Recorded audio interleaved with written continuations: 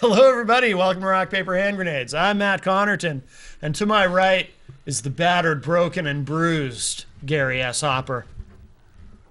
How are you, Gary? What do you mean battered, like as in beaten, or battered as in like a coating on, um, like hot dog or something? Uh, like the coating on a hot dog, Oh, Gary. yeah. That's what I meant. That's true. Yes. That is a true statement. Yes, I know it's very odd, but So true. anyway, I just wanted to prove that you don't have to be drunk to do stupid stuff. Mm-hmm. Okay? Because that's kind of I'm Irish, so I always thought that I always just did stupid stuff because it was when I was drinking. sure, sure. And uh, anyway, I went up with a. I met a. We go on a annual fishing trip up to Pittsburgh with a bunch of friends, and um, so this, this is my buddy. That's Sue. Hey, Sue. She ran back out. Oh, I think she's going to the ladies' room. Oh, okay. Or she saw that Phil guy. so anyway, I uh, I I went up there. Those guys all go fishing, and I I'm allergic to little buggers, so I don't even bother. You're allergic to fish? Yeah, really I'm allergic I, to allergic. I everything. knew Gary was strange, but I never heard of that. I, Yeah. Me neither, yeah. Oh, yeah, it makes my skin all itchy and stuff. I touch them. Wow. And uh, so, so they're all go. These are all my friends. So they're all going fishing. Hey, Sue.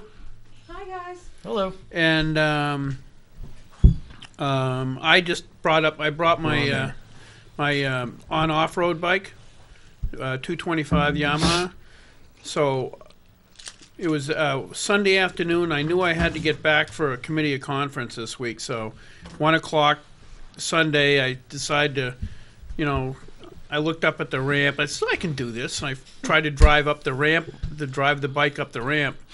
And uh, I lost my footing as I was going up the ramp. And then I got to the top and just flew right over the edge of the the uh, side of the truck and, and the bike and landed on my, my ribs. I got multiple fractures. And uh, I went, my buddy uh, uh, Tommy took me down to the hospital up there. And they emailed the uh, Dartmouth because they don't have a radiologist on on call. I mean, there all the time. They emailed Dartmouth, and Dartmouth says, "Oh, it's just a couple fractures," you know. So they gave me a prescription and sent me home. Then I, when I got home, I there was a message on the machine says, "Get to an ER." We were wrong. It was like like seven ribs are broken or something like seven Really? fractures or something. Wow. And so they were worried about internal injuries. Well, they also worry about punctured lungs. You Yeah, get, you same- get stuff like that that can happen too. Yeah. So And uh, so I spent all Monday at the uh, ER in Concord, and I got my first dose of uh, uh, what is it? Oh, the Fentanyl. fentanyl? Fentanyl. you're still here. Yeah, I got. They gave me a dose of fentanyl to uh, so they could do the uh, CAT scan because I couldn't straighten out. I still can't lay down. you can't sit down real well. either. Jerry was on fentanyl. I was watching you. It took you two and a half minutes. I, I timed you to Yeah, sit in that chair. just to sit in the chair. He's on the edge of his seat. I am. literally. I am literally on the edge of my seat. And uh, but but anyway, so uh, I found out fentanyl. It was weird because I felt like really kind of woozy and stuff like that. And then they uh, it it tampered down the pain well enough so I could at least get the CAT scan done. Yeah. And then um, uh, within an hour, it's going the the the medication's wearing off. So on Facebook, I called it the Chinese food of the drug industry. You know what I mean? That's why they Jerry had to uh, wear patches for that. Oh, after his fall. After his yeah, that sh- that shattered pelvis was Yeah. Horrendous. Yeah. Physical therapy that was necessary just to get his his leg was so weak. But at any rate, yeah, the, you have to you have to actually tape it on, and then you have to change it every three days, and so it's a time release thing. They hmm. don't. Yeah, it's not something you can't just take it. It stays with you. Anyway, so that was my my proof that because you're Irish, you don't have to be drunk to do stupid stuff.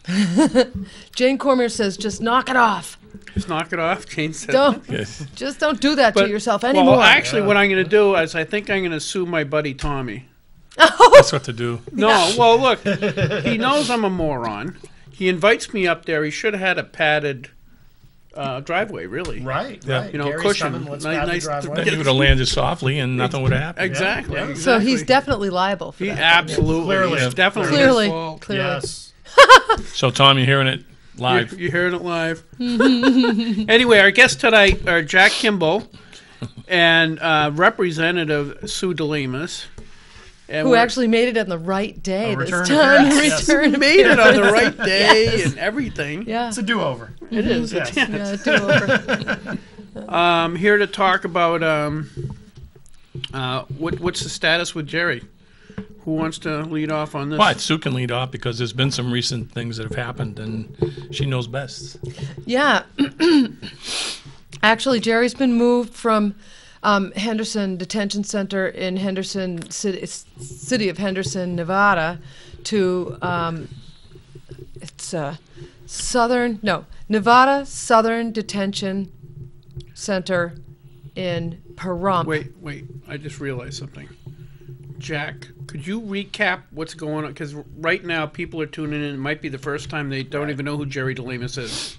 Okay. So Okay. we probably should start there. Okay, I, I will sit back for a minute then. just re, kind I'll, of I'll recap. tell the quick story. Um, uh, many of you listeners probably remember, uh, if you don't remember at all, little tidbits about the Bundy Ranch in Bunkerville uh, a little over two years ago. And uh, a fellow by the name of Cliven Bundy, uh, he, he put out the call. He's got a large family. They owned a ranch. He's a rancher, cattle rancher.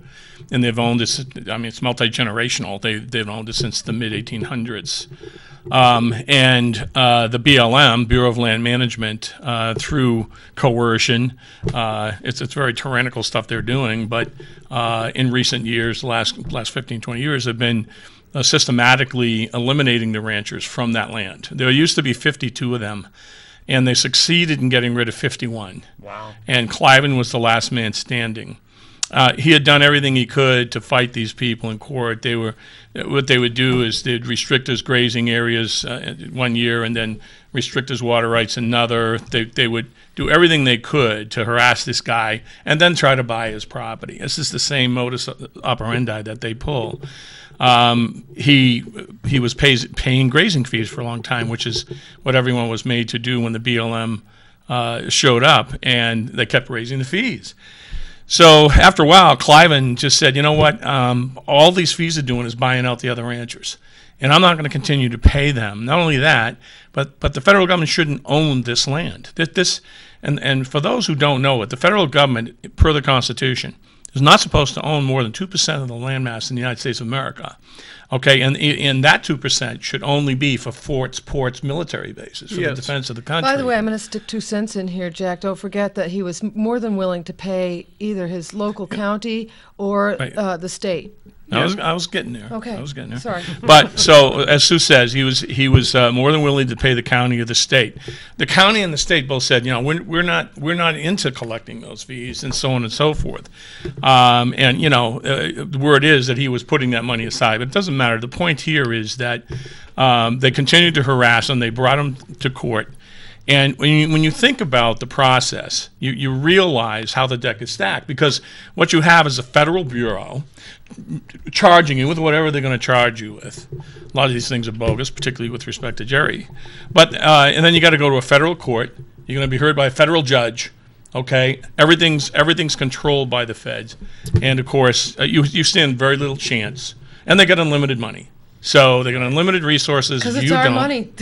and and the taxpayer money is paying for all of this. And you know, so you can see how it can break the bank of any individual who has to hire an attorney or a couple of attorneys to fight this this craziness. So basically, what happened? He he uh, he knew he couldn't win there, and they then finally said to him, they gave him an ultimatum: you you you got to get your cattle off the land, uh, or we're gonna we're gonna come and and. And impound your cattle. Uh, he said, "No, I'm not going to do that. I'm not. You know, I'm not selling to you." So basically, what they did, and I'm giving you the quick version, folks. But what they did was they went, the BLM, along with some hired hands, started rounding up his cattle. But they didn't just round them up; they were murdering them. They were shooting them, Wow. and they were they, they had mass graves where they were burying all the cattle they were killing.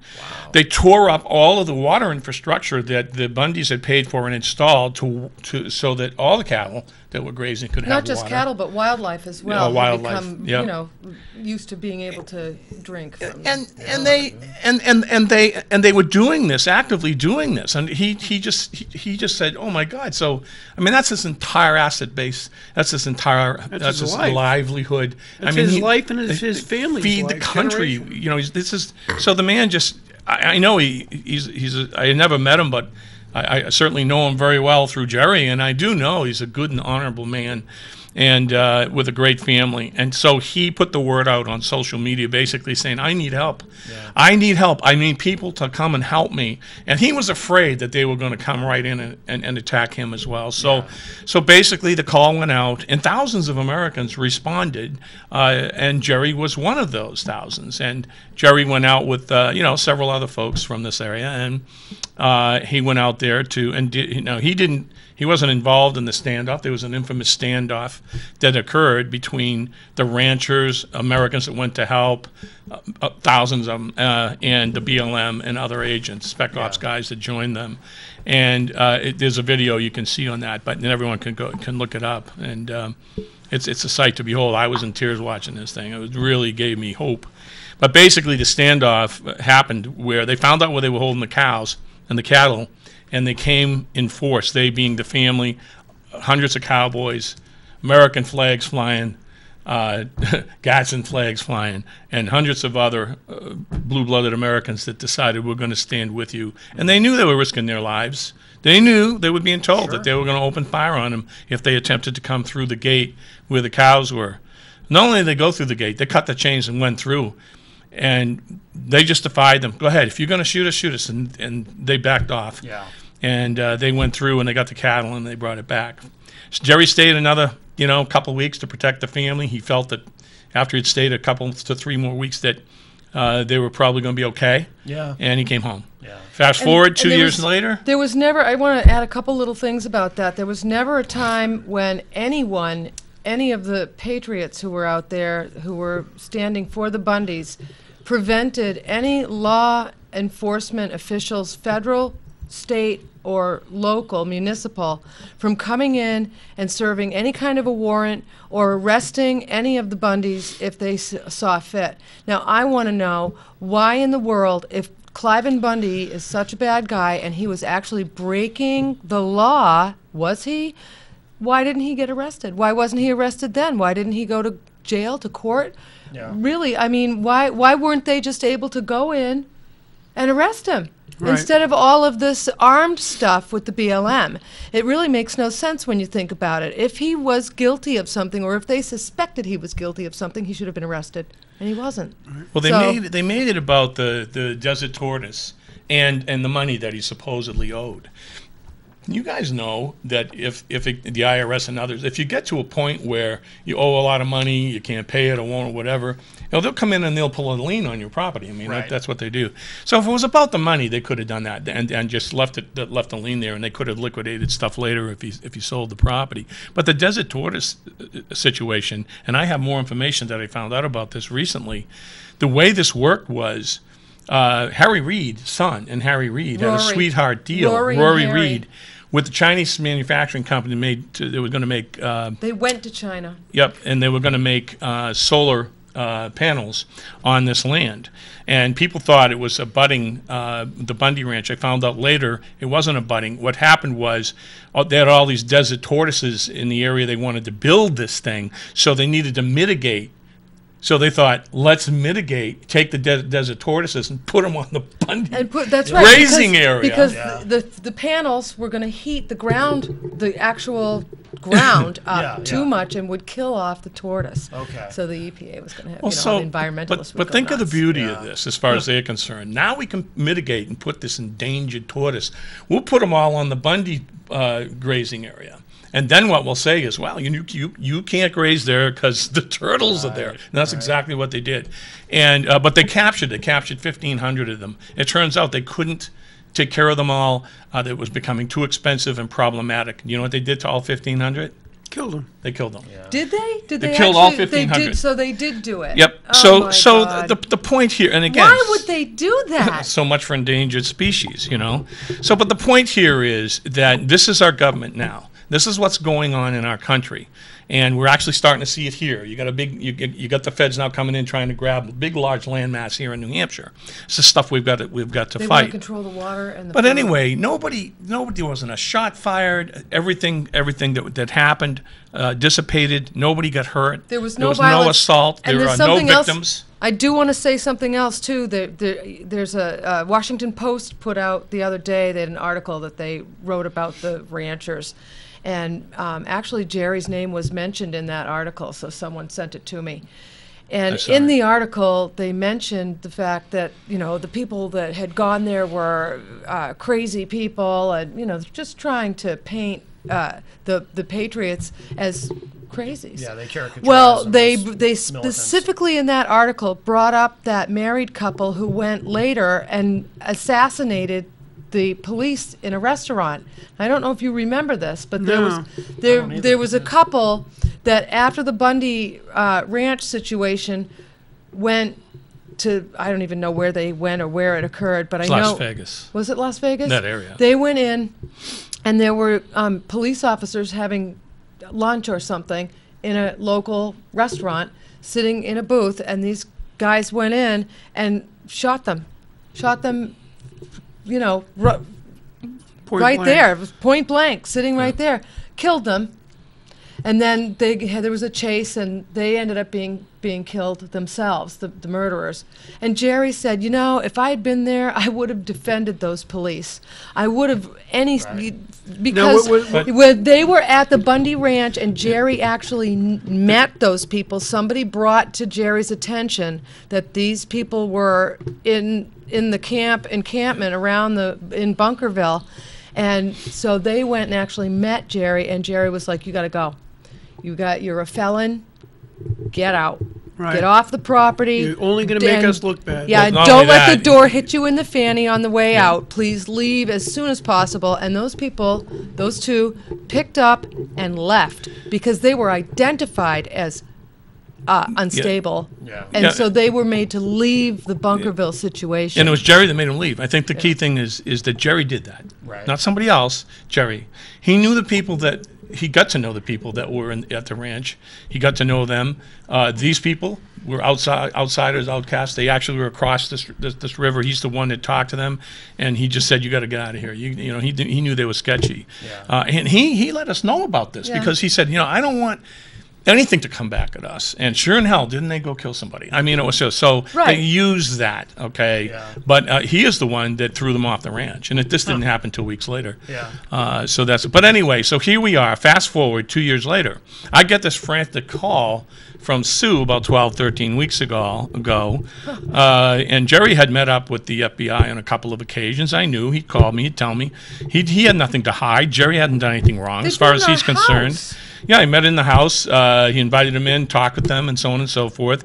And of course, got a comfort level, which is what they look to do. Mm-hmm. Um, and then what happened is he got a call one day to go to, to Dunkin' Donuts up in Rochester. He did that. He did my show the night, the day before that. He's Yeah. telling us. He went. He went twice, and they didn't show uh, because they they supposedly the second time afraid for their safety. Really? yeah, well, that's you know that's painting as well. Yeah. Oh yeah. Oh, absolutely. Right, yeah. that's a, that's setting up right as well, right, Phil Christiana? Mm-hmm. Yeah. So a few weeks later, they did what, and I knew they were going to do this. I, they because I knew that that day was going to be the day they were going to arrest him. They wanted him to come alone. They didn't want anyone else around. They didn't want me to come, and Jerry said, "Well, why?" And he said, "Well, we don't want Sue to get too emotional. Emotional about what? What Well, would I? obviously what that's would I get emotional about if you're not going to arrest me and you're not going to take me Mm-hmm. in? Right. You know, if they had just said to Jerry, "We have a warrant for you," you know, please come.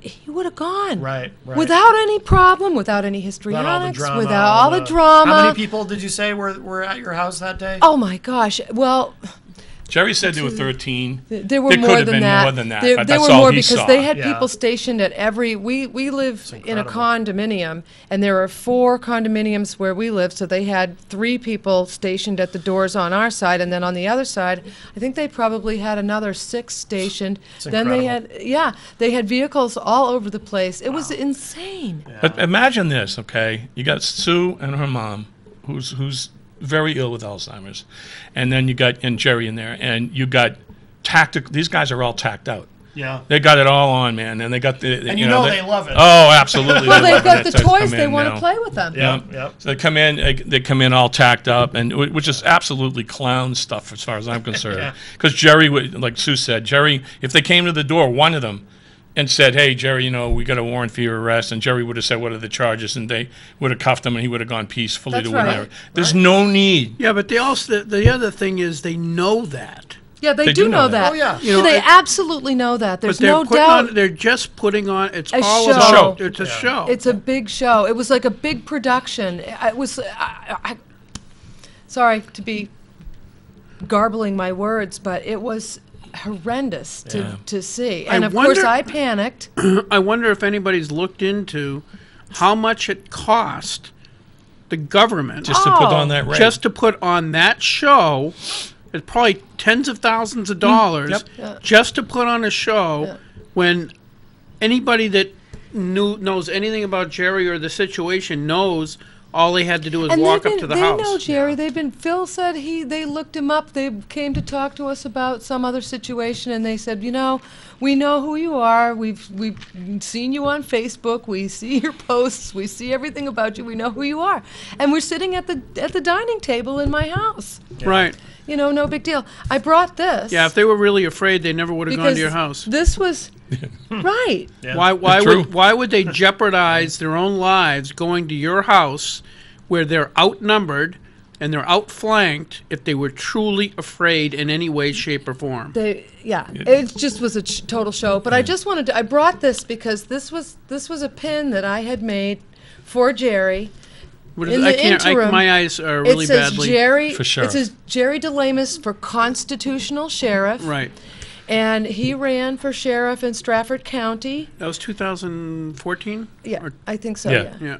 And it, it- so this is the interim, you know. He's he goes out there, he comes back. Now the FBI is fully aware of who he is. Right. You know, if he were if he were a danger, why? What? And I'm not saying just Jerry either. All of the people who were involved with this that are now, Now, incarcerated and being kept as innocent detainees. They're detainees. They Right. want to free the guys in Gitmo. Well, guess what? We want to free the guys that are incarcerated Well- now. They're they're only detainees. No. Yeah, and I think the key thing here, though, is is that uh, you you got we got to talk about Oregon a little bit because Jerry.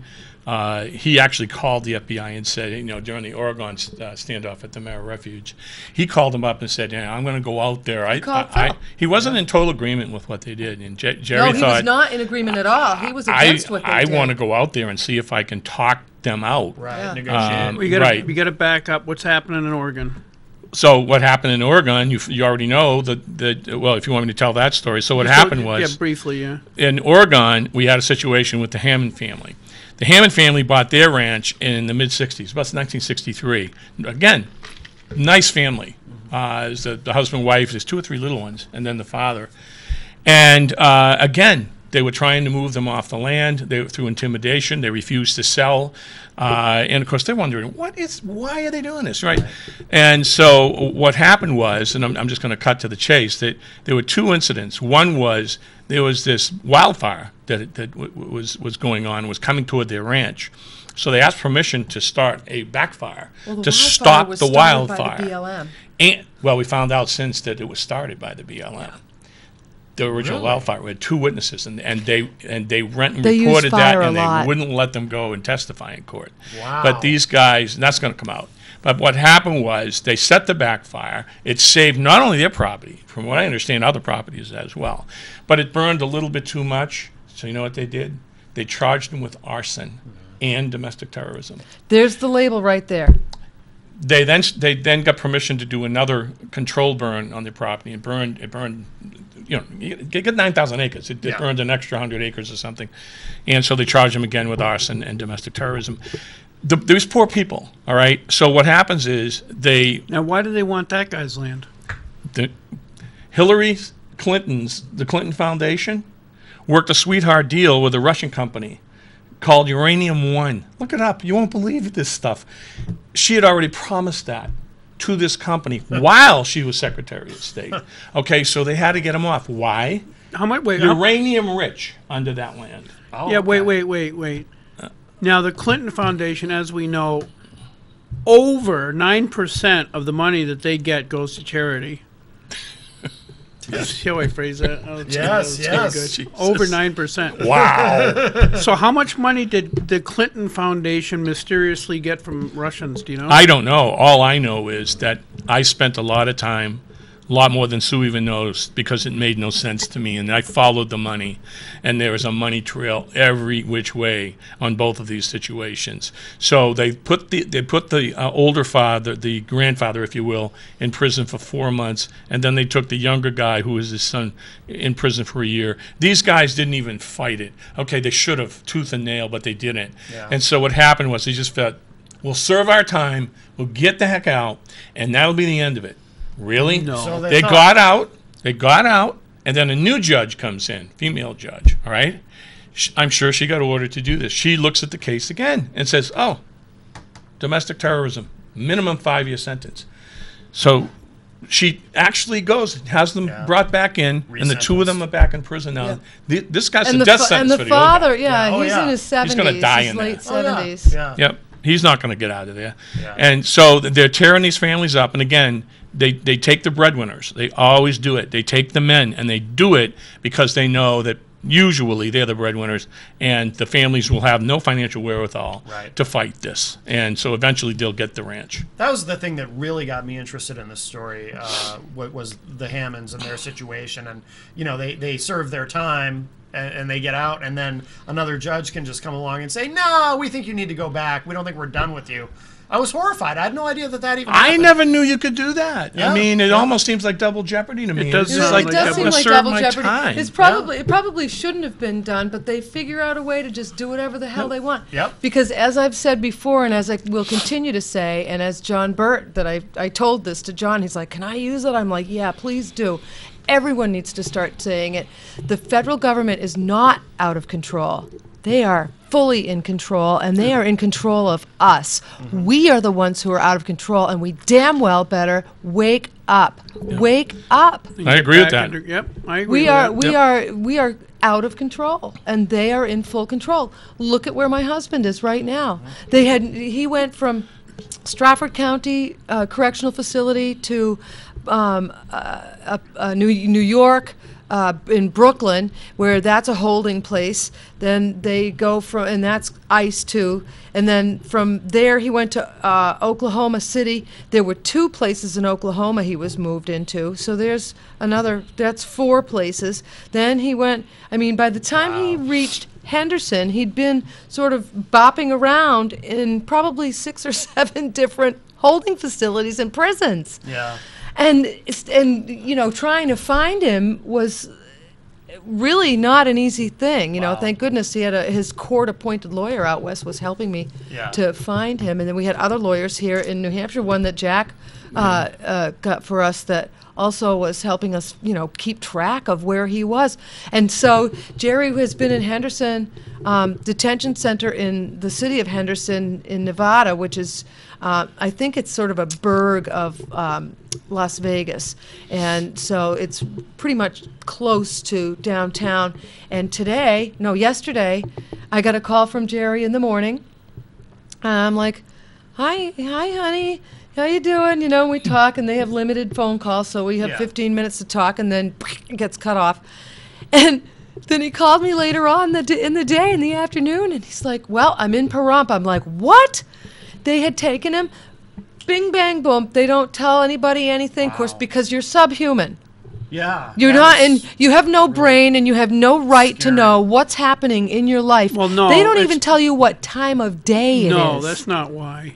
It's because they know that you are such a scary person, Sue, that you would Oh, organize for God's a breakout. sake, and- yeah. yeah. Tonight there's gonna be a judge. But speaking of that, not so not the Unbelievable, though, breakout. really. Yeah. Here's the thing that, that upsets all of us. Not only the fact that the, Jerry's innocent, and Sue said it very well. All the others are too. Yep. They, they've done nothing wrong. They've exercised their rights, the First Amendment rights, Second Amendment rights. Uh, they have done nothing. In fact, the only tyranny that's been, and the only terrorism that's been inflicted has And the been only the other threats. way. The government to us, all right? The, the government, the BLM, They were aiming rifles- openly they were threatened aiming and rifles said at that us. they, their verbiage was, "We will Yep. shoot anyone who advances." Yep, you can hear them. You can hear it on the they speakers. threatened. Yeah. Now, think about this. Every one of these guys, including Jerry, that's been arrested, have been treated horribly. All right? So much for innocent until proven guilty. Wait a minute, Strafford was very, very nice, very, so, uh, very yeah, nice to Strafford- him, yeah, and Strafford Pahrump is County Jail actually was. kind of being nice too. But so but still, okay, uh, he he was in isolation a while, and you can argue pros and cons on that. But the bottom line is, he's he's done nothing. He's innocent, and that kind of treatment, as far as I'm concerned, is is certainly not worthy of somebody like Jerry. Six years in the United States Marine Corps, Yeah. already served his country with distinction. Uh, ran for sheriff, ran and he for ran mayor. for sheriff and, and so forth. I mean, this is a joke, and all it's and we all know what it is. It's intimidation, pure and simply, and that's what they're trying to do. They're, trying, trying- to say, if you do this, this is what's going to happen to you. Well, this it's, is what it- happens when you exercise your constitutional rights. You think you have constitutional rights? Mm, you don't. Not really. You're supposed Okay. to have a right to a fair and speedy trial. That's where I was going with this. I, I, I, I'll tell you, it's this just occurred to me. It's like this: you're with your your wife and, and kids, and a gang starts walking towards you, and they mean you harm. You've got a revolver with six shots. There's thirty of them. You know what you do? You take out the guy The head guy. the head guy, the guy with the big voice who's coming at you and, and says, Okay, I only got six shot. You're going first. Guess what happens? They all back off. Jerry was one of the few people that not only was willing to participate in trying to uh, defend the Bundys, but also was vocal about it. So I think that's what the because you we all know that there's other people from New Hampshire that went, and although the FBI is tormenting them by you know circling their houses with helicopters and doing all kinds of other BS, they're still not arresting them.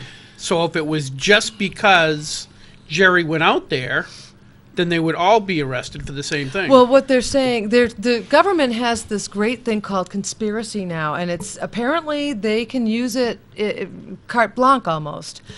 And so they're claiming that there was this great conspiracy. You want to know what happened? I'll tell you exactly what happened, and I'll. I don't know if I'll go to court with this or, or if I'll ever be asked to to tell them what happened.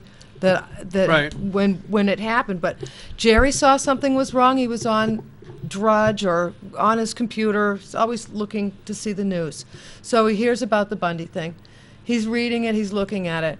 A little while later, this is in the morning, he turns to me and he goes, Wow, I need to talk to this guy.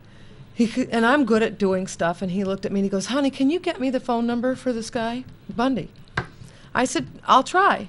So I went on, and sure enough, I found his home phone number. It was easy to do. I found found his home phone number. Yeah. So we called him up uh, at his house, Cliven. And Jerry said, Hi, Cliven. And they talked for a little while, and I heard Jerry say, Well, what can I do for you? What can I do to help you? Which is exactly who Jerry is. What can I do to help you? Right. It's exactly the words that came out of his mouth. And I'm thinking to myself, I think he's, I bet you he's going to maybe go out there if Cliven says he needs him. And that's what Cliven said. He said, we need, we need people. Yeah. Will you come and be with us? And that was it. Conspiracy by you know what. And I'm not going to swear on the Well, the radio, is- but you know, I mean, that's not, if that's conspiracy, what the hell? But Right. ge- generally, though, and, and I, I don't think this is right, but I know that law enforcement typically, in any situation, it seems like they try to charge somebody. They overcharge on, yeah, on with purpose, everything, they can possibly come up with. hoping that something will stick. Right, exactly. There was absolutely, positively, completely zero Like that's like that's- conspiracy, zero conspiracy at all. N- Yeah. the, that morning he talked to Cliven, then he said, "Well, I got to go," and then he was gone. Well, Yep. it was it was like when when I went to court uh, the second time because I didn't even know about the first one till after it was over, but the second time in New Hampshire, and they were saying you know because they had charged him with I think threatening and a threat was the first charge like threatening or something, and they he wasn't even there. I, I get He the- never- shh, just let me finish. they charged him. I think they charged him with threatening, but the def- the prosecuting attorney admitted that Jerry didn't show up till a day or so after. Yeah. Right. There's a slew of charges on the original uh, charge list that don't apply to them. Yeah. And it just goes to show you how haphazard this all was. Yeah. I'm betting if you looked at the charges of each and every one of the other guys, they're probably pretty similar. I I wouldn't imagine they would be much different. But Jerry wasn't. They the, the charges, some of them were on there, were under the presumption that he was at the standoff, and he was was there. not there. Right, right. Uh, you know. I was going to say too, like that's what they did to the Hammonds, the overcharging. You know, you think about they charged them with domestic terrorism. Well, obviously they're not domestic terrorists. I mean, they're really not even arsonists. Yeah, but they were in prison for five years. Exactly. because it wasn't because it was an option because Right. they realized years ago that a terrorist could use because especially if you go to California and some of the drier places it would be very logical to, to for uh, an Al Qaeda member or something to or ISIS to just torch Set a fire. Yeah. set fire so I can see why you would have that as a law Right. but it obviously doesn't it, it it's insane Well, that it left the door open for misuse. Right. Well, and that's the problem And we that's run what into they're all using the it for. time. They're abusing what it's meant to, to, to be used for. And they're doing it against the good guys. I mean, they're doing it against the people that absolutely would stand and fight. The very people that would be domestic terrorists. Right. And they're, they're throwing them in jail. I mean, this is insanity. We've got a We're uh, upside down. we got a call coming in. We'll grab this. Hi, welcome to Rock Paper Hand Grenades. Who's on the line? This is Jane Cormier. Well, hello, Jane. How Jane. are you? Hi, Janie. Jane, J- Jane, whatever How are you you, Matt? Good, doing well, Jane. Thank you. I don't have any uh, rib issues, Don't I'm, ma- I'm doing great. I know. don't make. I'm make actually calling in to tell Red Hopper to stay off any more bikes. Yeah. You know he's not going to listen. Yeah. uh, You need to keep whatever ribs you have. I'm thinking I'm thinking he needs to stay off of anything like that, even horses. right. Yeah. Hey, yeah, but just don't make me laugh, all right? I'm sure. Coughing and laughing are out of the question. Right. So that's all you called in was to pick on me? No, I actually wanted to tell you that I'm praying for you and I hope you get better real soon. Thank you, hon. You're awesome. You're welcome. She is I awesome. know, She I'm is so awesome. You we know, are J- awesome. Yes, not so bad either. Janie, why don't you run for Senate now again? I already asked her. Yeah, I can't. I can't. Well, oh, If, if I if there was any way that I could pull it off, I would do so. But at this point, um, it's just not. She There's just no way I can do it. I can't mm-hmm. change my life trajectory right now to. she just took a serve new in the job. Senate. But you know, I'm not going anywhere in New Hampshire, so. That's we'll see good. about maybe and you later. and you're so fabulous. I'm her number one fan. I don't know if you all know didn't that. I can't tell. I, I- I am Jane Cormier's number one fan. There's Very nothing nice. that Oh, I woman. don't know. I there's think there nothing are that other woman people that can't would do. compete. She is They would- phenomenal. There are other people that would compete with you. Yeah, that pretty spot. much. Oh, I don't know. Hey, so Jane. So, so Jane, I was reading a quote from Harry Truman. Says if you get rich in politics, the only the only people that Something wrong, right? yeah the only people that get rich in politics are crooks. But what bothers me is I didn't read that until after I was already in politics. Yeah. Well, New Hampshire took care of that for you by not paying you. yeah, that helps. Yeah, that's a go. guarantee. All right, young lady. Thanks for the All right, call. You guys. All right, thanks, dear. Thank Hi, you, Jane. Jane. See you later, Jane. She's a sweetheart. I love her. What a talent. Yeah. That woman. There's Well, nothing she she sang. can't do. Uh, that's the first one. The first calls I made was to get yeah, she sing. can't. There's nothing she can't So, and she always says yes. You know, come to the fund. She did the na- the national anthem and also sang. Uh, uh, she sang "God Bless America" with Sue. She made her Sue and- living as a as an opera singer. She Oh, yeah. lived. She was Yeah. in Vienna. She was. Yeah. She's Oh, you know what's funny is all that over the, the first world. time I had her on the show was years ago, and um, and it was I forget I was right to life or something. I forget what the bills were that we were talking about. And just before she comes on the show, she goes, "You're not going to ask me to sing, are you?" and I go, "Why the hell would I do that? Now you're in trouble. Why didn't Jane, I didn't know? Why didn't I'm know? sure you're still listening.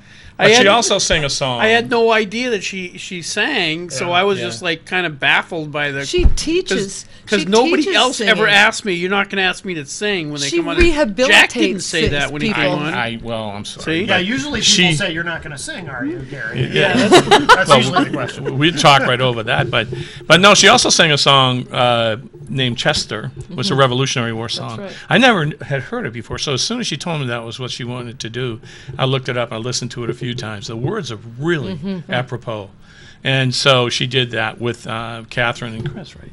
Yeah. Yeah. So the three of them did. Do you they nice videotape that, right? And we have it. It's uh, Somewhere. Granite Rock. was there. You got a it's video. We the can whole thing. get. wa- the, we can. Yeah, I don't know I what. think the whole thing made it to. I oh, don't- the whole haven't thing was on, it. on on video. Oh yeah, I haven't oh seen yeah. it. The, the the viewers don't know that. We, I haven't uh, seen it yet. yeah, uh, how many weeks ago was that? Three, two weeks No, ago. it was just. It was a week ago. no. Week, it wasn't. It was, it was It was the fourteenth. What's today? Uh, 25th? Yeah, it's fourteenth. It's almost two weeks ago. Yeah, Yeah, almost two. Almost two weeks ago, they had a, a uh, Fundraiser. fundraiser for Jerry. Yep. It was very nice. I got there late because of because of s- you know, stuff, but so I didn't hear her see, sing the national anthem. But uh, it was really really nice. How did th- and how did that go?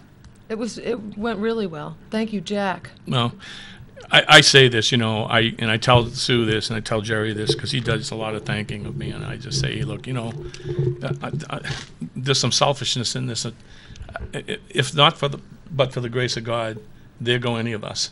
And my my feeling is simply this, and Jerry's my dear friend, and I would do this anyway, but I want I want to know personally that if this happens to me, that people aren't just going to move on. And I said that when I spoke the other day. I said, you know, I'm, I can't move on Yeah. until he's free. Yeah. And, and we all should not be moving on with these things going on until he's free. In fact, we should be raising holy hell Yeah. And shining a, a very a bright light on this, which is another thing I'm working on. And, and we're going to shine a big light on this. You know, right now the elections are taking up all the oxygen in the room, and Right. Yeah. you know it's very hard for anything to squeeze in there and get any attention. But we're going to do that.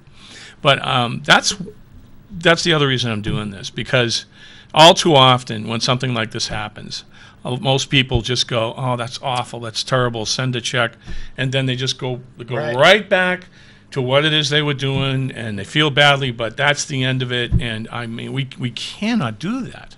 And my fear is still the majority of us will. And so I'm just trying to not let this die at all. I'm going to Yeah. keep going and keep going and keep going. So. And I've got my hands full. I can't. Uh, I, I can do very little on my own. I, you know, I, even today I was hoping to be able to go over to storage and move some stuff around, and I, I need a, I need a man. you know, I mean, I've got a girlfriend who's helping me who is just really so wonderful, and she's been such a monstrous help. I mean, it's just great.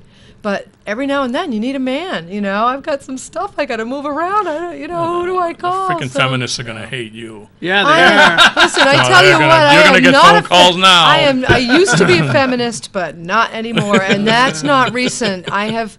It's been a long time that I've actually woken up and Well, matured I think and that's. become think a it grown depends. woman. Yeah. I I consider myself a feminist in a way. Okay. You don't walk like one. No, I don't. s- I didn't say I was transgender. Oh, okay. I said I was.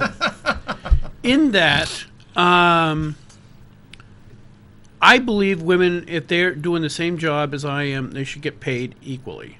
Yeah. Okay. But That's I- it. But I s- that uh, to me that's the extent of it, because I also believe that God created us differently for different purposes. I don't think women should be in combat. Okay, they're they're they're the human beings that God created to actually reproduce. Putting them in combat is absolutely is absolutely insane. You know, the, the, it's God made men to protect women. That's what we're supposed to be doing. And that's what they're them gonna do on the battlefield. Deliberately putting them in harm's way is only jeopardizing other people in that situation. It's it's foolish. It's it's feminism gone amok. Yeah. Um, feminism today, if if if you're if you- Feminism was part of the communist plot, I believe, and and go ahead with the agendas. But you know, seriously, feminism is one of the planks of of the Communist Manifesto, and it's a, it's been foisted on the women of of the United States and now spreads to the world. And I think it's a I think it's a terrible mistake that people think that men are supposed to be women and women are supposed to be men. We are not. We have our we have our places to be and there are things to do and it's not that we're not equal and it's not that women don't have the same worth as a man has, but we have different things that we can do. I do not have the upper body strength of a man and I never will. Neither do and I I was strong. I, I used to, you know, arm wrestle and do all kinds of stuff and I've been very physical my whole life. I mean, I'm not a shrinking violet, but I'm certainly not I am not a man, and a man is not a woman, and you can't make it be the other way around. But I think too, um, I'm a prior, I'm prior Navy. Uh, we've come a long way with respect. I think there is a place for women in the military. Oh yeah, I don't. I don't it's not like it's not like they can't join and shouldn't be, and I'm I'm totally for them being, yeah, like on an aircraft carrier now they have women on board, and on the bigger ships women are on board. did they call one of them the love boat for a while? I, I, let's not go there. But uh, but I will tell you, uh, it's the same thing. Even when you get into uh, combat zones, you can still have women way back uh, in the field, supply handling supplies. I don't even mind there being uh, fighter pilots or, or or pilots in general. There's a lot of things that women do very well, and they should do them. And if they want to serve their country, by God, fine. But I agree 100 percent with you. Yeah. You put them on the battlefield, and you got a whole mess to deal But with. the thing is, is feminism, when it started in the 60s and 70s, was absolutely legitimate. But what it did, it was hijacked by the the extreme feminists. And if you look at Bill Clinton, Bill Clinton is a good example of feminism gone amok. In that he uh, took advantage of women, basically, you know, you know, uh, took advantage of the position he was in to take advantage of women. And every time a uh, woman stood up and said anything, the feminist would attack the woman. And the reason is, um, I ran into this uh, uh, years ago in the uh, in the state. uh, My own personal experience was I, I filed a bill of address to remove Wayne Vetter, who was the director of Fish and Game. And if you actually look it up, it's the only bill you will see that never was appointed to a committee. It never did anything except be laid on the table the following year Wow. and then killed.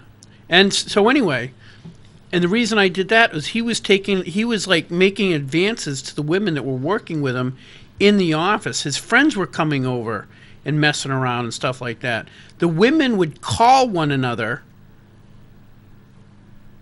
if they were alone with him. Wow. It was so bad, you know, one of the ladies would call up and say, "Hey, he's here alone with me. Can you come, can you get back here as soon as you can?" It was that bad. wow. Okay, so now uh, the Speaker of the House at the time was really mad at me. Um, everybody was really mad at me because he was a Republican insider. He had somebody who had contributed to the party. I had everybody against me. So I called a national organization, a state national organization of women, and says, "Look, I'm, I'm, I think I was my second, beginning of my second year. I says I'm a pretty new legislator. I'm in way over my head. I'm, I know I'm doing the right thing, but it's still way over my head. I could use some help. It's- Nope, they did not want to get involved. You know why? Because if they had got involved, their abortion bills would have been harmed because they were siding with somebody who was going against leadership. And at that point, leadership and the Republican leadership would uh, stand down on abortion bills. They'd say, vote your conscience. So they didn't want to piss off leadership because uh, a 12 year old getting an abortion uh, without their parents' permission is far more important than how women are treated in the workplace. And therein lies the crux of the problem in this country, is that if you look through, almost everything is politicized, and now Oh, yeah. it's hundred percent politicized, particularly with this administration. I mean, there is nothing this man does at all uh, that isn't politically motivated, or at least ideologically motivated. And so, uh, th- you know, here we are going over that cliff, and I don't see anybody yanking us back. So. Uh, you know, the, the, the, the whole Trump issue exists because everyone's mad, but we'll see how that plays out. But I mean, I'm not, a, I was a Ted Cruz guy, not a Trump guy, but I will tell you this the alternative is unacceptable to me. So, I mean, I'm- I, I think actually, you know, I'm, I'm with you. I was with Yeah. Cruz also. Yeah. But I think one of the reasons Trump has so much appeal is he's not an ideologue. no, and that's, and, and, He's and he can't be bought. Yeah. You know, he's so. I think people look at that and say, "I don't." That's why nothing sticks to him because people say, "I don't care, I don't care, I don't care, I don't care." Uh, you know, he's willing to fight, and you should, you're seeing it now. They're not going to win this battle. In fact, you're going to see him. I think his his ratings are going to continue to climb, do and it's going to be exponential. Did It's you hear what they did today? They came out yesterday and attacked him because he he had mentioned that he looked like there, there was going to be a uh, a bust on the housing market and he was going to capitalize on it. Well, well, well, let me finish, right? So Elizabeth Warren comes out and attacks him because he's a heartless SOB, right? That audio. Pocahontas. Well, guess what? Pocahontas did. Pocahontas was flipping houses then too. She was buying. She was buying foreclosures That, Yep. yeah. And She was, them. she was buying foreclosures and flipping them. Yep. So Pocahontas is uh, Well, you can't blame him. Yep, You can't blame him for you know engaging in capitalism. And I'm not a Trump supporter. I'm voting for Gary Johnson if he's the Libertarian nominee. Yeah. But you can't blame Trump for No, you know, being a that's- businessman. And That's all he's saying is when the market, you know, when the market's right, you buy, Right. and when it's really wouldn't? high, you sell. You know, and you know. anyone would do that, including Elizabeth Warren, apparently. Yes, exactly. Clearly, no question about it. Yeah, Yeah. yeah. It's all it's all pretty ridiculous. So Jerry's in, in prison. Hey, are you running Yep. for office again, Sue? I I know it's wicked difficult. people really want me to. I, it's uh, and and I and I want to. I would, and I may, but um, it's very everything's so up in the air right now. It's very difficult for me. I've got to. I really need to get. I still have some things that have to be done. Physical things that have to be done to an apartment that I have. Yeah. Painting, just you know, actual finding time, getting people to sit with my mother and help me oh, out. Oh, by the so way, my I wife volunteered to help you. Did she? She's she's a teacher, so this in a month or so she'll be free. So Well, if she doesn't mind traveling to Rochester, because mom doesn't even go out hardly any anymore. I have to. It's very. It's a big production getting her out in the car. She has to be put in a wheelchair to really go anywhere because she can't really walk very far anymore. And it's uh, it's you know, get it's a terrible, horrible disease. And Oh, it it just is, it is. continues to to get worse, and she continues to decline. And and uh, but you know, God love her, and she's you know, it just is what it is. It but is, this yeah. is this Yeah. situation is now very difficult for me. Very, very difficult. If it weren't for Jack and and the others who are helping me and coming alongside me, people like your wife who are willing to help me out when I need it, I don't even know how I would get through any of this. I just don't know. Well, I haven't talked to Sue about this, but for what it's worth, I was going to, but for, I'll do it now on television. But I think personally, I, because you are a go-getter, you are somebody that if you are on a mission, nothing is going to stop you.